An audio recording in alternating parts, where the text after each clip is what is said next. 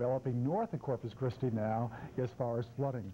But right now we do have uh, our own Weather Channel crew standing by in Driscoll, Texas, and that is uh, our own Mike Seidel. And Mike, you've seen a lot of flooding during the last couple of days. What's the latest from your vantage point? Well, right now we're standing in the floodwaters here, Will. We're about 30 miles from Corpus Christi on Highway 665. This is uh, one of those Texas farm roads, and that's the intersection up there with US 77. And just take a look at all the water out here. It's running a couple of feet deep, and so far we've seen five cars get stuck and have to be pushed out because uh, too much water in uh, the under the hood area. The water has not receded much since 6 this morning. We have had a couple of heavy showers.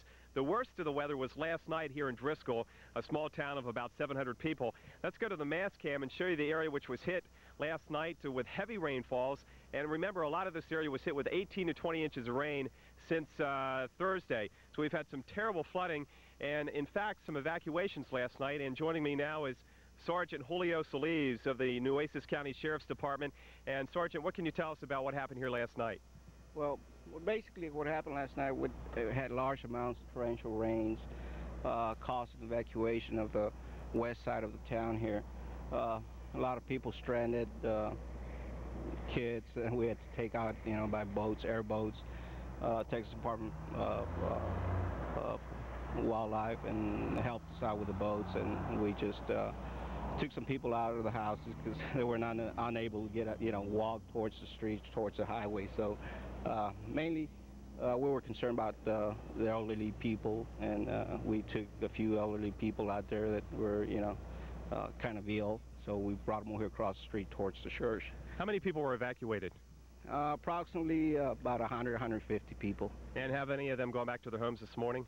Uh, as far as I not yet. Uh, we we haven't opened up the the west side of town here yet. Uh, it's still underwater, a little bit underwater. It's going down, but it's getting there, you know. So it's going to be a, maybe about another hour or so. How much water is in the streets last night and compared to this morning? we're talking about anywhere from maybe three and a half to four feet uh, water in different parts of the neighborhood there. Uh, in some places there was underwater about four feet and in other places were maybe two and a half feet. So it, it varied, you know. It, How long have you lived in the area?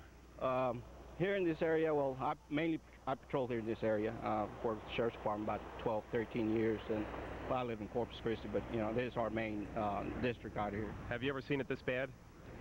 Uh, not really. Maybe just one time, but not as this bad as, as it happened last night with those torrential rains, you know. So. Okay, Sergeant Solis, we appreciate the uh, information, and we'll get, let you get back to work, and hopefully we'll get the rain out of here.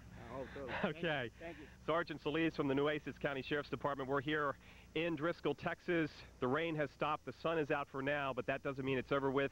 We'll monitor the situation. A flash flood watch continues, and more heavy rain is expected between now and sometime Monday. Will? Okay, Mike, thanks a lot for your report. We'll get back to you a little bit later.